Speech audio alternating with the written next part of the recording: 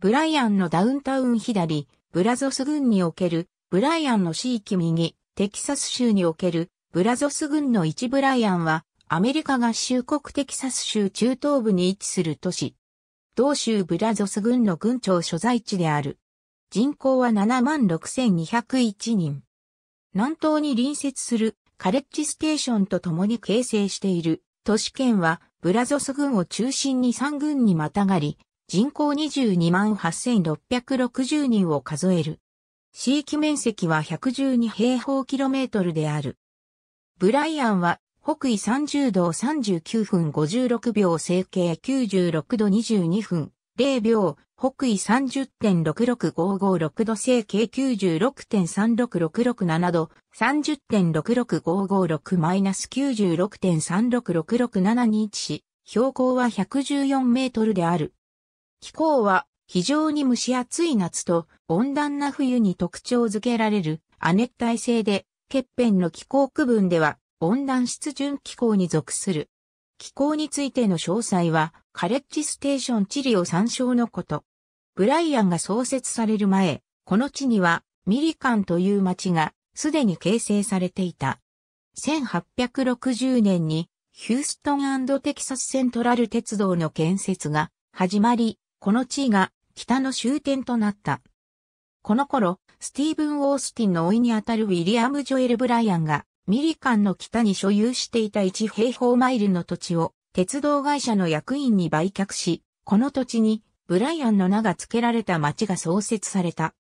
南北戦争中には、この地は南軍の重要な兵站拠点となった。南北戦争終結直後の1867年には、この地に最初の鉄道が到着した。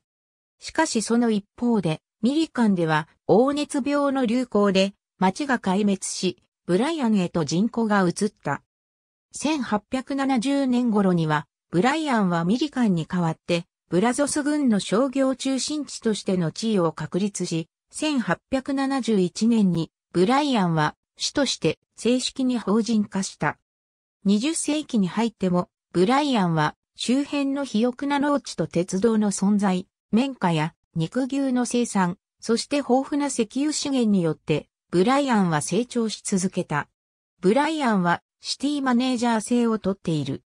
シティマネージャーは、市の行政実務の最高責任者で、市政府の日常業務の管理と指揮に責任を負う。市の立法機関である、市議会は市長及び6人の市議員からなっている。市議員は6人のうち5人が市を5つに分けた、小選挙区から1人ずつ選出され、残り1人が全市からの投票で選出される。市議員の任期は3年で、6年を超えて務めることはできない。ブライアンカレッジステーション地域の空の玄関口となる空港はテキサス A&M 大学のキャンパスの南西に隣接する同学所有のイースターウッド空港である。同空港にはアメリカン航空によるダラス・フォートワースへの便、及びユナイテッド航空によるヒューストンへの便が就航しており、それぞれ1日4便ずつ発着する。市中心部の北東約 5km にも、市が所有するクールターフィールドが立地しているが、こちらは、ゼネラルアビエーションと呼ばれる、主に自家用機やチャーター機の発着に使われる空港である。ブライアンには、州間高速道路は通っていないが、州道6号線がブライアンカレッジステーション両市の北東をバイパスしており、この区間のみ高速道路規格になっている。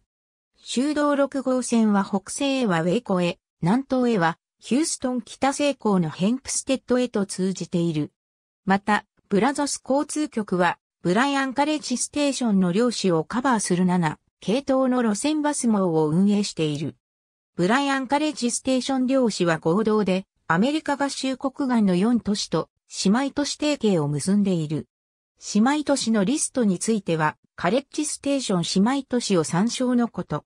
以下に、ブライアン氏における1900年から2010年までの人口推移をグラフ及び表で示す。都市圏人口については、カレッジステーション都市圏人口を参照のこと。ありがとうございます。